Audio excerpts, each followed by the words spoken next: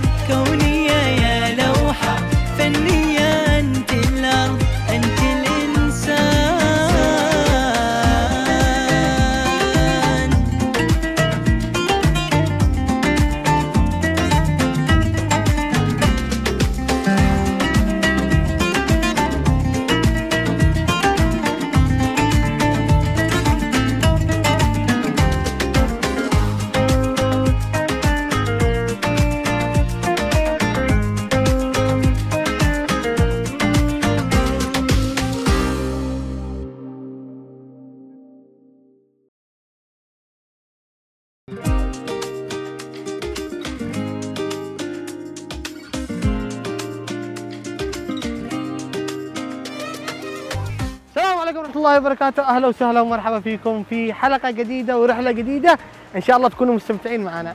سواحل جزيرة سقطرى تمتد 300 ميل.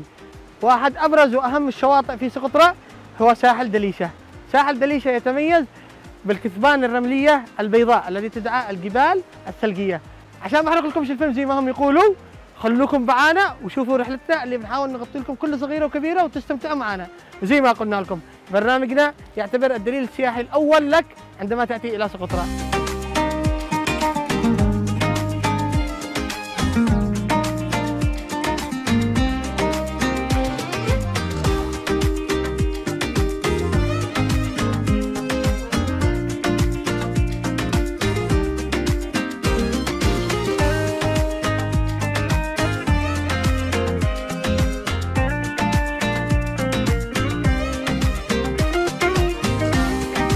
دليشة واحدة من القرى الموجودة في مديرية حديبو عاصمة سقطرى هذه القرية الساحلية لا يوجد فيها الكثير من السكان. إحصائية عام 2004 تقول إن عدد سكان القرية 56 نسمة ومن ذلك الوقت إلى الآن لا شك أن العدد قد ازداد.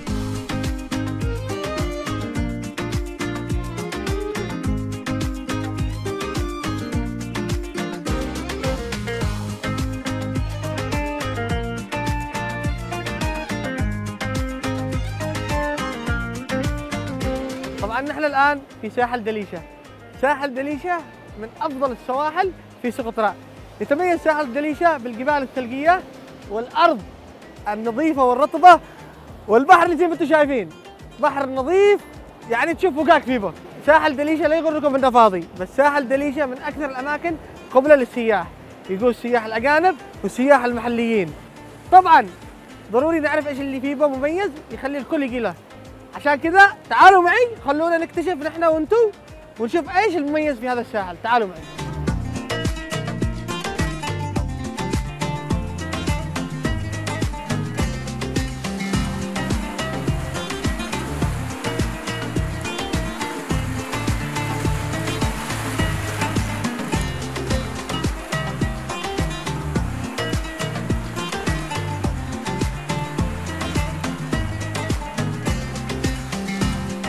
يعد شاطئ دليشة أقرب شاطئ إلى العاصمة حديبو.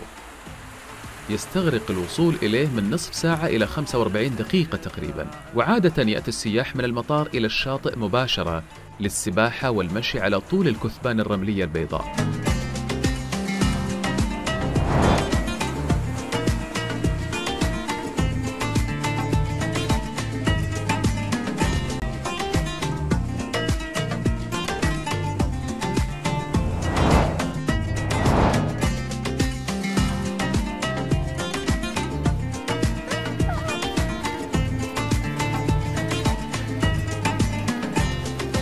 أنتم شايفين؟ طاروا! أنا كنت اشي آخذ صورة معاهم بس طاروا! ما حبونيش. فالآن إن شاء الله رايحين إلى الجبال الثلجيه طبعا هذه الجبال الثلجيه إحنا يعني ما رتبناش لها زي الناس ولا لازم كنا نجي ونتزلق هنا. تزلقات من هنا تكون تزلقات رملية رهيبة جدا جدا جدا وتكون تجربة فريدة. بس للأسف إحنا الموسم اللي لقينا فيه إلى إلى سواحل دليشة آه، مش موسم محبب للزيار والسياح. بس فوق هذا كله إحنا بنوثق لكم وبنمتعكم وبنخليكم أنتم من نفوسكم. تتسجنوا انكم تقولوا هنا وتعيشوا التجربة بنفوسكم التجربة رهيبة جدا جدا جدا. طبعا البحر ما أقول لكم بحر عن يميني وبحر عن يساري.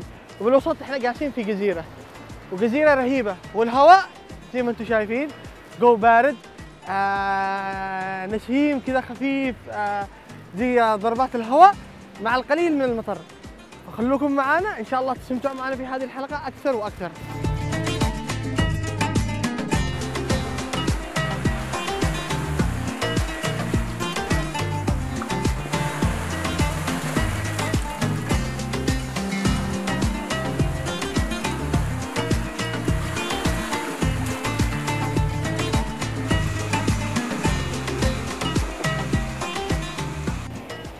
تبدأ آه، من شهر اثنين فبراير إلى نهاية آه، شهر آه، أربعة شهر أبريل. يعني هذا المواسم الرئيسية لزيارة جزيرة سقطرى بالنسبة للخصوص لا نقول أن الأشهر ال- ال- الباقية آه، لا تكون فيها زيارات لكن زيارات ولكن هناك يحتصر بعض الأحيان آه، اضطراب البحر. والفرص تكون قليلة جدا للغوص، يعني هناك فرص لكن فرص قليلة جدا للغوص، لكن المواسم الأخرى تكون مواسم مؤكدة 100% إن السائح اذا أتى في هذا الوقت هو وقت ال- ال- الغوص ويرى أكبر قدر من التنوع الحيوي الأحيائي آه، آه، تحت الماء، سواء زي ما تحدثتم سابقا عن الشعب المرجانية، الاسماك، الطحالب، السجراس، يعني حسب التوجه، أيضا جزيرة سقطرى ليس للغوص فقط السياحي وإنما كمان مفتوحة للباحثين للعلماء والباحثين والدارسين الذين يأتوا يدرسوا الإسماك ويدرسوا الشعاب المرجانية الطحالب يدرسوا آه، السجراس يدرسوا آه، آه، آه، جميع أنواع آه، أو جميع أنواع الأسماك جميع المرجانية وكذلك الموارد البحرية. هي مرحبه يعني.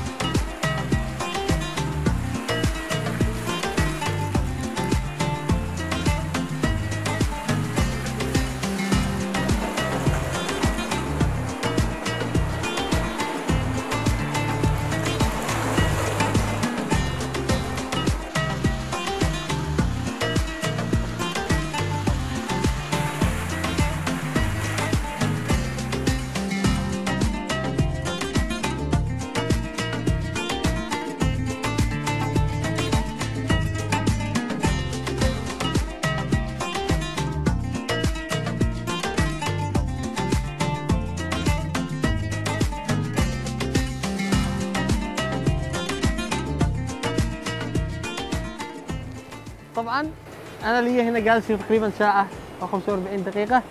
أتأمل بهذا الجو البديع اللي أنتم شايفينه وهذا المنظر الرهيب والجو البديع. طبعا المخرج ومدير التصوير والمصور دوخت بهم من أولهم يقولوا لي تعال بنصور تعال بنكمل الحلقة ما يا سالم. أنا أقول لهم لا. مكان شاعري رومانسي يخليك تحس إنك تحب وإنك متيم بالهواء زي ما يقولوا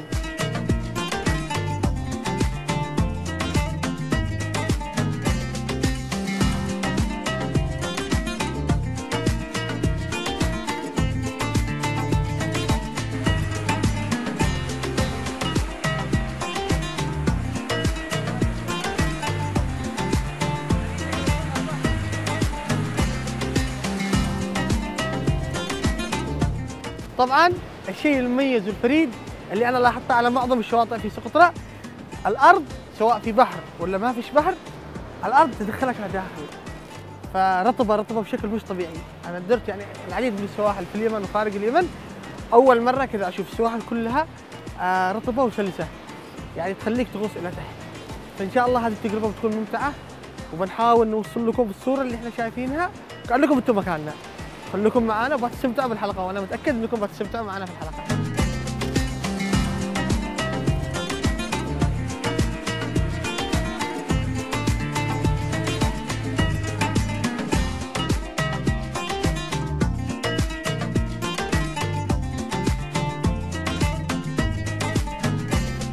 أسفل هذا المنحدر الرملي. توجد أخاديد صخرية عجيبة وعلى الأغلب تشكلت بسبب ارتطام الأمواج بالصخور على مدار سنوات طويلة. داخل المغارات الصغيرة ترى أحياء بحرية عدة أكثرها وأهمها السرطان ذو اللون الأحمر.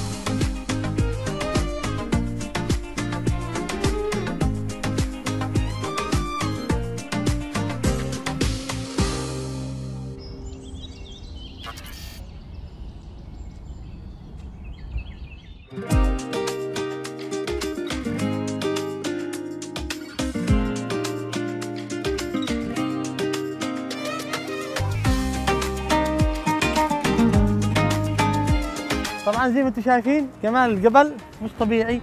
كأنك جالس على قطعة قطن كبيرة أو في جبل ثلجي سبحان الخالق. يعني المناظر هذه أنا ما قد شفت زيها في حياتي.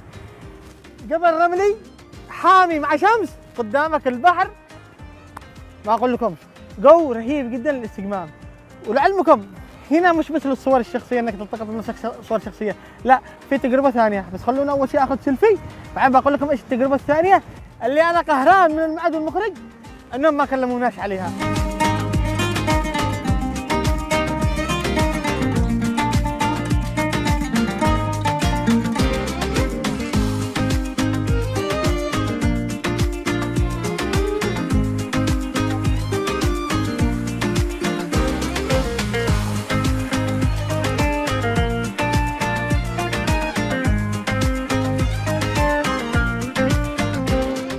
طبعا زي ما أنتم شفتوه هنا مش تصوير فقط هنا في تجربة استثنائية وبعتقد إنها موجودة في اليمن اللي هنا التزلج من الجبال الرملية.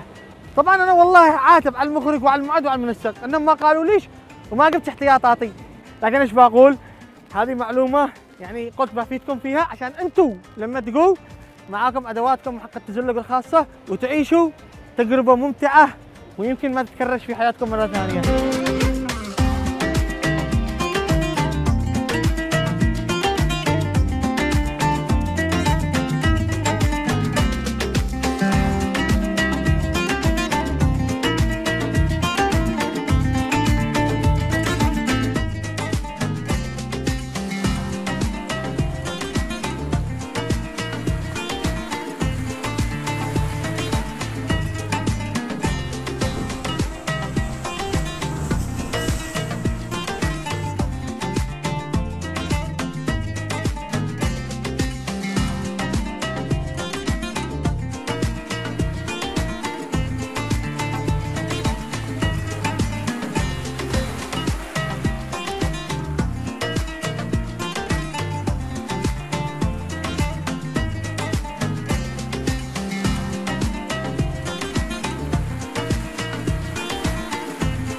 طبعا أنا اليوم حزين جدا لاننا فوتنا على أنفسنا تجربة من أميز التجارب اللي ممكن تجربها في سقطرى بالأخص في ساحل دليشة. بسبب كثافة الكتبان الرملية تخرج السلاحف السقطرية إلى الشاطئ وتضع بيضها. فهذه التجربة تجربة مميزة وياتي الجميع من أجل مشاهدتها. لكن للأسف إحنا أجينا مش في موسم التزاوج أو موسم وضع البيض للسلاحف السقطرية.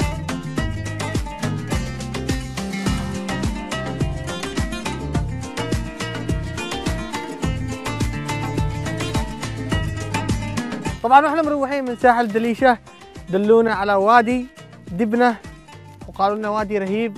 ويذكرني بتريم الغناء زي ما أنتم شايفين وادي رهيب للعوائل. وزي ما تشوفوا هنا في نهر يصب في بحر دليشة في بحر ساحل دليشة. إحنا بنحاول نغطي لكم كده تغطية خفيفة لطيفة وبتعجبكم. وزي ما قلت لكم برنامجنا برنامج سياحي. إحنا نكون لك الدليل السياحي لما بتجي لها سقطرى نحاول نركز لكم على أدق التفاصيل وأفضل الأماكن عشان لما تجي تستمتع بإجازتك وتستمتع برحلتك.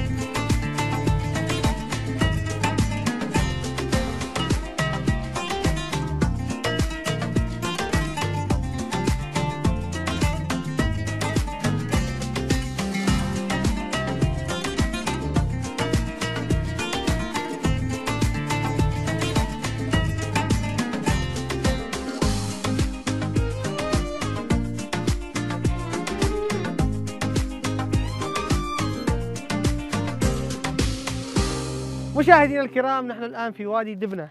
وادي دبنة المشهور في زراعة النخيل وفي رعاية الأبقار والأغنام. بالأصح رعاية المواشي.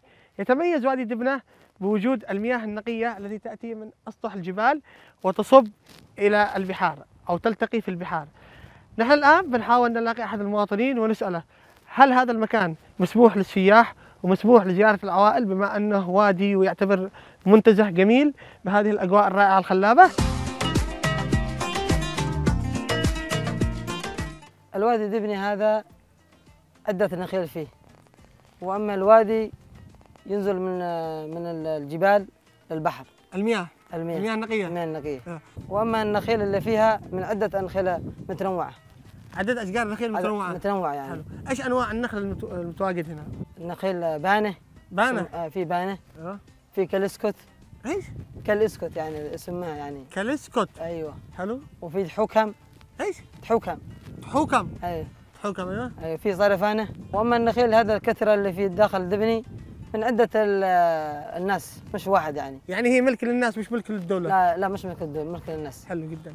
وأما دبني يعني هي مناظر حلوة يعني في الوادي وقاربتنا دليشة جنبنا دليشة. حلو. اللي فيها منتزه. حلو. إحنا رويناهم تقريبا دليشة وشافوا أيوة. كل شيء. أيوه. طيب. بسألك آه، متى يكون موسم آه، قطف النخيل أو قطف التمر؟ والله قطف النخيل يكون من آه، أحيانا على على على, الشهور يعني أحيانا يجي في شهر ستة حلو يقصهم مم. وأحيانا يجي في في الشهر في شهر خمسة أربعة تقريبا يعني يحطوا لهم حق اسمه ذا حق النبات عشان تلقيح تلقيح عشان تخرج حلو أيوه طيب يا عبد العزيز آه وادي دبنة هل هو متاح للسياح وللعائلات إنهم يجوا يسترخوا فيه ويأخذوا بعض الوقت وينبسطوا فيه؟ مش متاح يعني للسواح بس الله متاح للرحلة. رحلة سواح هي يعني؟ رحلة ل- ل- حق الابناء وأما فقط. الس- بس. سواح وأما دبني في جهه في جهة الساحلي السواح. في جهة الساحل. قد دليشة؟ جهه جهه, جهة دبني. آه قد من, دبنة. من, من, من الساحل. حلو. سواح. هناك يركضون هناك. يعني لما أحيانا يجي من المطار يركضون هناك. طيب الوادي يعني ما يدخلوه السواح ما يدخل الوادي داخل النخيل ما يعني إحنا يدخل. موجودين ما. يدخلوا ما يدخلوا. ما يدخلوا السواح طيب هل في حيوانات هنا غير الأبقار والأغنام؟ ما حيوانات مفترسة؟ ماشي غير حيوان الأبقار والغنم إما. والسعويده اما سعيده واحيانا مفترسة ماشي لا اي ما في مفترسة. ماشي. ما في مفترسة. ماشي مفترسة. جدا يعني. المكان آمن. آمن آمن.